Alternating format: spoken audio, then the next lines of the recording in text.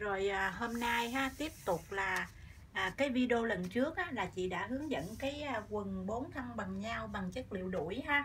Thì hôm nay chị tiếp tục cái theo cái video tiếp theo này là chị sẽ không làm áo như thường lệ nhưng mà chị sẽ hướng dẫn thêm một cái form quần nữa cũng dành cho giải đuổi nhưng mà là thân lớn thân nhỏ theo form quần tây nha. Mặt rộng rãi thoải mái nhưng theo form quần tây để mà chị lên đồng một một một lượt luôn với cái bốn thân bằng nhau với cái lại à, à, thân lớn thân nhỏ ha. Hôm nay thì mình à, bắt đầu cắt thân trước. Trên cùng một chất liệu ha. Thì cũng là lưng thun luôn nha. Lưng thun chị cũng chọn cái cách là chị xài dây thun hai phân để cho mặt thoải mái khi mà nó nó mình mặc lưng thun nó không bị cấn bụng ha. Thì chị cũng sẽ chừa lưng thun hai phân. Thì hai phân thì đồng nghĩa là mình chừa xuống 2,5 như thường lệ ha để cho nó bao phủ cộng dây thun của mình. Bỏ xuống 2,5 rồi mình sẽ kẻ ngang một đường ở đây là chị hướng dẫn thân trước ha. Rồi mình đã ngang một đường dây thun. Mấy em mà thích mai lưng thun 3 phân thì bỏ xuống 3,5 ha. Còn ở đây chị mai à, dây thun 2 phân. Rồi phía đường bên như thường lệ từ bên biên vô thì mình cũng bỏ vô hai phân đây chị bỏ vô hai phân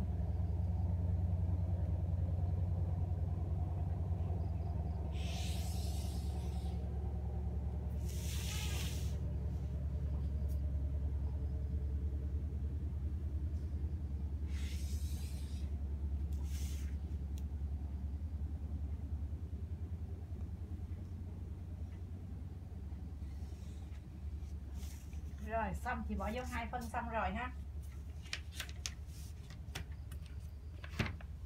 Rồi, bắt đầu mình tới đường phấn hạ đáy đầu tiên thì mình lấy phấn hạ đáy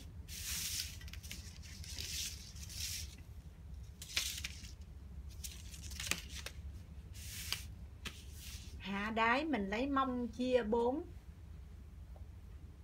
cộng 3 hoặc cộng 4 cái này là tùy ha bạn nào thích quần đáy mình hơi ngắn thì mình cộng ít lại ha.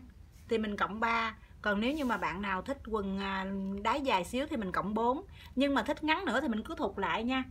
Đừng có cắt nhích nhặt ngắn hơn lưng chia 4 là được. Tại vì cái này là ngắn nhất là à, xin lỗi ngắn nhất là mông chia 4 làm hạ đáy còn dài thì mình cộng 2 cộng 3 cộng 4 thì là tại vì mình may cái phun quần này cho cái người à, người trẻ thì nhớ là cái đá ngắn còn người lớn thì đá dài ha. Ở đây chị à, hướng dẫn cho cái cái form trung bình chị hay xài ha. Như mấy bạn ở thành phố thường là mặc đáy ngắn hơn nha. Ở quê thì thường là người ta mặc cái đáy sẽ dài hơn. Thì chị lấy cái mông của bạn này là bằng số đo hôm qua ha. Là chị lấy cùng số đo là 94 94 mình chia cho 4 thì sẽ được là 23,5 thì chị cộng cho 3 ha. Hạ đáy chị cộng cho 3 23,5 chị cộng cho 3 là 26,5 26,5 mình có thể các mẹ mình thì mình may lớn hơn ha hạ nhiều hơn chút xíu ha. Các mẹ các bà thì thích mặc cái đá dài. Còn mấy bạn trẻ thì mình mong chia 4 mình không cộng cũng vẫn được ha. Thậm chí mấy bạn mặc đá ngắn hơn nữa mình còn phải trừ nữa nhưng mà thường là không cộng là vừa. Rồi mình sẽ làm đường phấn hạ đáy ngay đây. Tiếp theo nữa là mình hạ gối. Hạ gối thì thông thường á, là chị thường là chị hạ 25 ha. Chiều cao mà trên trên một mét rưỡi từ một mét rưỡi tới một mét bảy thì mình cứ dao động dao động cái khoảng từ 20 từ khoảng 2 tầm 24 đến với 27 thì là chị sẽ xài khoảng tầm 25 trung bình là khoảng 25 tại người Việt Nam mình cái số đo nó tầm tầm như nhau thôi. Nếu bạn nào mà cao á, thì mình sẽ hạ thêm một chút. Còn bạn nào mà thấp dưới mét rưỡi thì mình thục lại 24 ha 23 tùy theo bạn ha trung bình là 25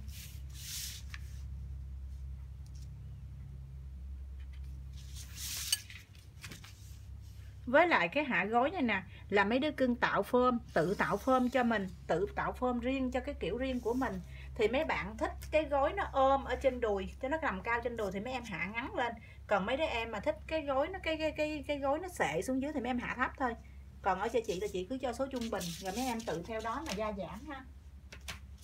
Có thể tùy địa phương, nó có địa phương mặc cái gối rất là cao, mà nhầm địa phương mặc cái gối rất là thấp.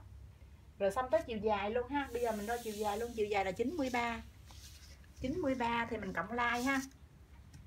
Like mình thích lên bao nhiêu thì mình cộng bao nhiêu thôi. Bây giờ là cái like quần này chị sẽ cộng 2,5 93 cộng 2,5 là 95,5 mấy đứa cưng thích lên like lớn thì vừa lớn lên nha. Thích mai nhỏ chừa nhỏ nhưng mà nhỏ nhất là hai nha chứ đừng có nhỏ nữa. Nhỏ nữa nhìn nó không có duyên. Rồi mình sẽ kẻ ngang đường phấn lai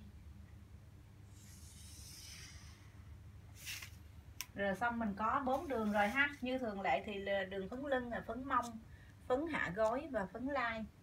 Rồi bắt đầu tiếp theo thì mình cho ngang phấn mông. Ở đây là chị hướng dẫn quần lưng dây thun nha.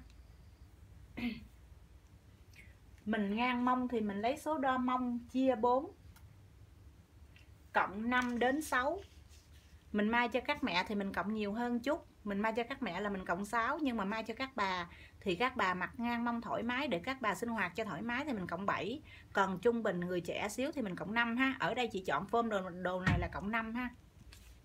Là mông của số đo này là 94 thì 94 mình chia ra là chia ra 4 là được 23,5 23,5 mình cộng thêm 5 là 28,5 xong thì mình đo từ bên từ bên bìa này qua 28,5 nếu mấy đứa cưng thích rộng hơn là cộng cộng nhiều thêm nha.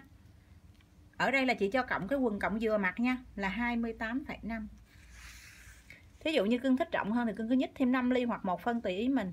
28,5 cưng nhớ là cái quần cái quần thân lớn thân nhỏ thì chị sẽ chia đường ly. Chia đường ly mà sao mà cho cái thân quần mình nó đừng đá ly. Cho dù mình không ủi ly nhưng mình vẫn phải tính cái ly cho chính xác nha. Đây là qua là 28,5 cưng thục vô một nè nhớ là cái quần à, quần tây đó chị cũng cho thục vô một để mà mình chia ly nha. Thay vì là mình cộng thục vô đây mình chia luôn thì cái ly nó sẽ hơi lệch nha. Thành ra là mình phải phải đo cho đúng qua là 28,5 rồi mình chia làm hai luôn mình lấy phấn ly. Bảo đảm là cái phông quần nó không nghiêng ha. Rồi mình đã có đường phấn ngăn mông rồi. Rồi vô các đáy mình thuộc vô khoét đáy luôn.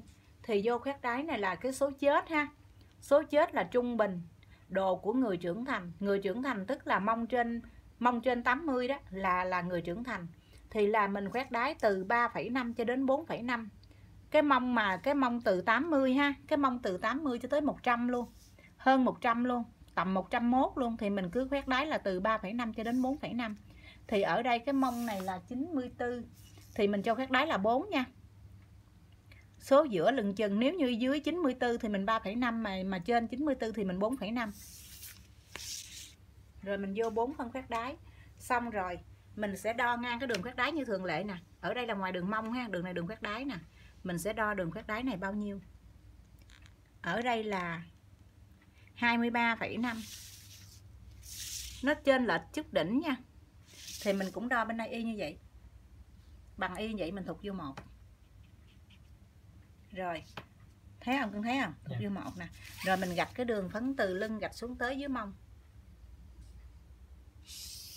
ở đây chị lưu ý một tí xíu ha không phải là cái số này thì mình gạch như vậy thì mình mai lưng nó rất là thoải mái nhưng mà bạn nào mà cái lưng nhỏ cái mông lớn cái lưng nhỏ thì cưng có quyền cưng không thích dúng ở trên cái lưng dây thun dúng nhiều thì cưng cứ ngã vô thêm cưng cứ ngã vô thêm một chút xíu nữa yeah. Dạ. ha nhưng mà mình mai lưng thun là chủ yếu là để mình mặc cho thoải mái thành ra mình mình may ít có khi nào mình ngã vô thêm lắm. Cho nó có tạo cái sự thoải mái ngang cái hông của mình, đừng có chật bụng. Rồi xong mình sẽ khoét đáy. Đây, khoét đáy thì mình đặt thước lên là mình khoét thôi.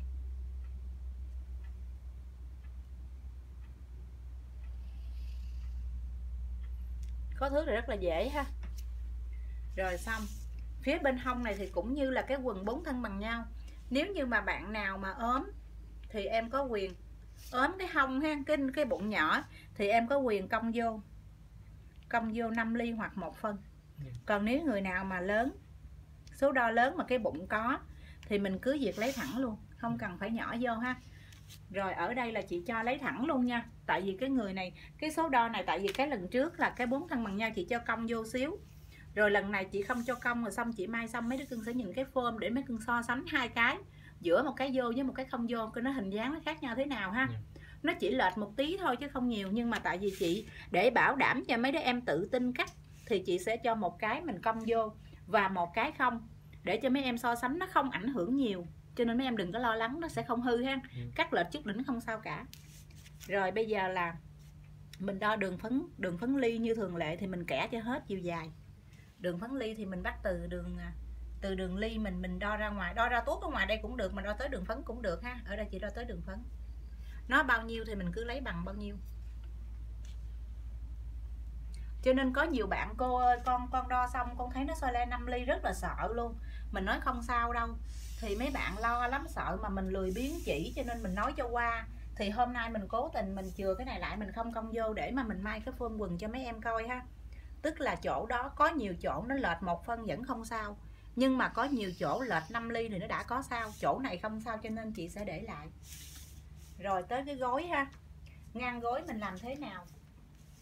Thì mình ngang gối mình lấy gối mình lấy mông chia 10 mông chia 10 mông bạn này là 94 thì 9,4 không cộng không trừ gì cả. 9,4 9,4 rồi nếu mấy em thích mặt ôm thì mấy em nhỏ vô xíu trừ 5 ly mấy em thích mặt rộng mấy em cộng 5 ly. Dạ. còn mai cho các các các bà các các cụ ha thì mình cộng nhiều hơn xíu nha. Rồi cái đường bên sườn bên này thì cũng vẫn như thường lệ cưng phải chia đường hạ đáy này ra làm hai. Cái đường hạ đáy này cưng chia làm hai để cưng bắt từ đây cưng gạch xuống gối.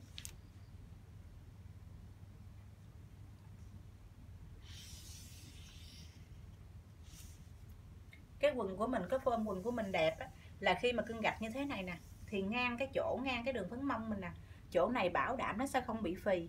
Cái chỗ này là cưng thấy là chỗ này nè. Nó Ừ. không bị phì mà cái hông của mình thường nó lớn lại lớn ở trên đây nè. Dạ. cho nên là lớn ở trên đây thì mình sẽ dời lên đây nè để tạo cái mông nó đầy lên. Rồi xong phía bên hông thì mình cũng nối lại cái đường sườn ha từ cái đáy xuống cái gối.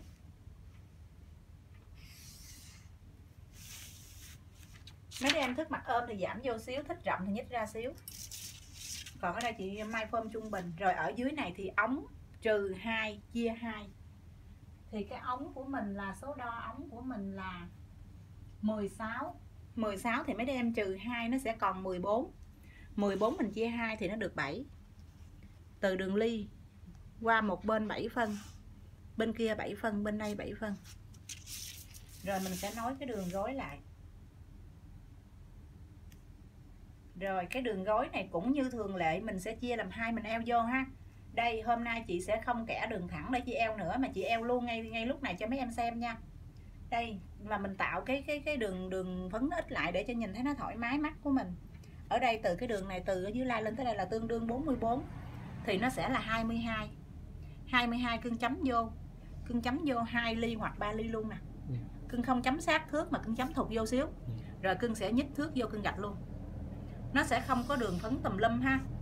Cho nên là khi mà các bạn mà đến thấy chị cắt đồ á mấy bạn không có hiểu là chị công bao nhiêu cả tại vì chị làm một lượt một luôn nó không có đường phấn tùm lum. Mấy lần trước thì chị sẽ vẽ một đường thẳng nè cưng nhìn nè. Nè chị vẽ một đường thẳng nè chị mới bỏ vô hai hoặc ba ly rồi chị mới cắt vô một đường nữa. Còn bây giờ là chị làm cái chi tiết nó khác hơn để cho mấy đứa em bắt chước theo ha. Mấy đứa em làm theo thì nó sẽ gọn nó không có đường chị đường phấn lung tung. Bên đây cũng y vậy ha mấy đứa cưng không quen thì mấy cưng cứ đo cho nó đúng đúng cái cái chiều dài này ha tương đương 44 nè. Thì mình sẽ lấy ở chỗ giữa là 22 nè mà mình chấm thục vô 3 ly giống y như bên kia nè. Cưng thì thấy không? Thục Dạ. vô nè đó. Rồi bây giờ mình gạch vô thôi có nhiệm vụ là mình gạch từ cái gối xuống cái chỗ eo vô đó. Tức là cái quần của mình nó sẽ không có đường phấn lung tung nữa. Từ từ chị sẽ hướng dẫn mấy em vẽ càng ngày cái quần mình nó càng đẹp lên bởi vì chị nói á, là khi mình học mai á, mình mai khéo hồi nào mình không có hay. Mỗi một ngày mình học một tí mỗi một ngày ngày mình luyện một tí mình không hay mình mai khéo luôn.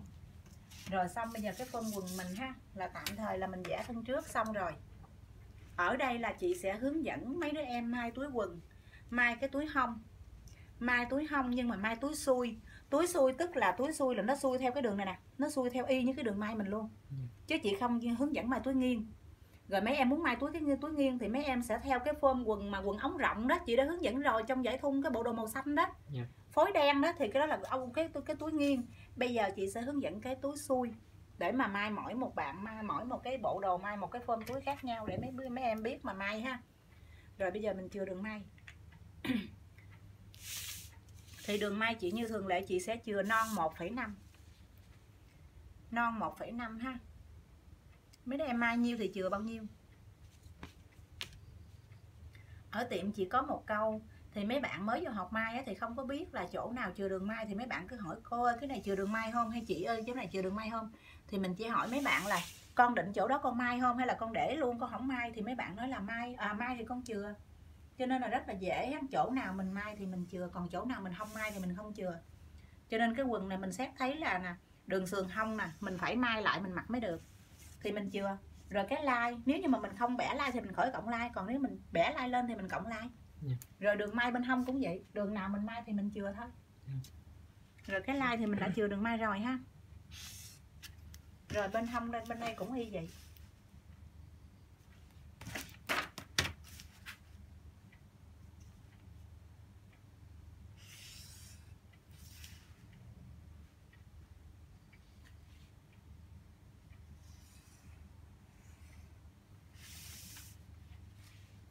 mình chừa đường may 1,5 non 1,5 xíu. Thường là chị chừa 1,5 nhưng chị cắt trong trong phấn. Rồi xong ha. Đường đáy này thì mình chừa một phân.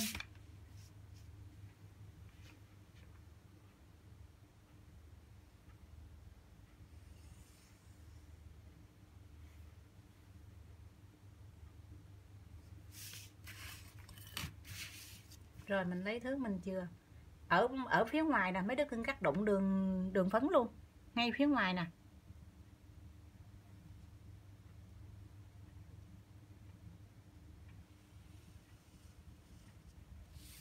Rồi, mình sẽ cắt đường y như thế đó. Cái lưng thì mình chừa rồi, mình khỏi chừa thêm. Rồi bây giờ chị cắt nha.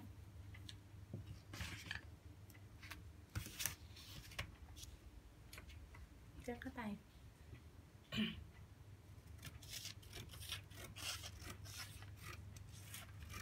Chị thường là chị gạch đường phấn xong là chị cắt bỏ đường phấn để nhìn cái quần mình cho nó gọn chứ không gì hết. Còn mấy đứa cắt chừa phấn nó nhìn thấy nó tùm lum. Cho nên chị gạch 1,5 cái chị cắt trong đường phấn. Đó lần này là cái quần mình nó giảm đường phấn vẽ rồi đó. Rồi càng ngày là giảm càng nhiều. Thí dụ như chị ha chị làm đồ của khách chị á, thì là chị không có kẻ những cái đường ngang này luôn. Chị chỉ nè chị chỉ gạch ừ, hà đáy xong chị đánh dấu ở chỗ này chị đánh dấu chỗ này chị đánh dấu chỗ này. Rồi chị đánh dấu thục đá vô rồi chị khoét một dòng nhỏ ở đây tức là nó không có đường phấn này luôn. Ừ. rồi đường gối cũng vậy chị đo hạ gối xuống rồi chị chỉ chấm một cái dấu nhỏ ở đây. Xong rồi đường ly cũng vậy khi chị đo ly là chị chấm đây một dấu ở đây một dấu. Tại vì những cái đường này mình đâu có cần phải đo những cái đoạn này nè. Ừ. thì thành ra mình chấm chỗ này mình đo mông mình chấm chỗ này mình đo gối. Rồi xong rồi cái quần mình nó có dài cái dấu chấm nhỏ thôi nó không ừ. có đường phấn nhưng mà từ từ mấy đứa em làm mới được mới mấy đứa em sẽ làm thấy nó lu bu lắm. Rồi mình cắt luôn cái phần dưới này ha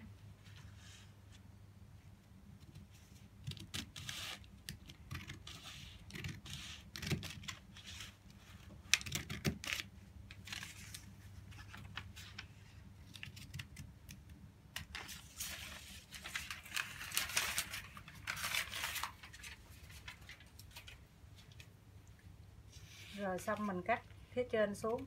Nói chung cắt ở đâu cũng được, mấy đứa cưng thuận tay nào cắt tay đó.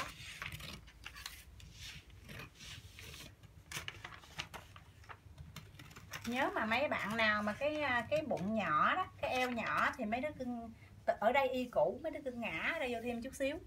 Còn chị thì chị à, chị mai như vậy cho nó thoải mái cái lưng ha, khách mình thích mặc ở nhà cho nó thoải mái. Để nó bó bó bụng á, khó chịu.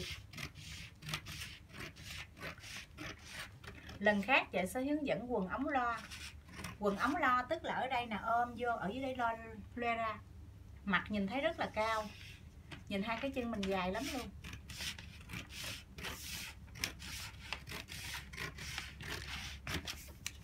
Rồi thân trước mình đã cắt xong ha.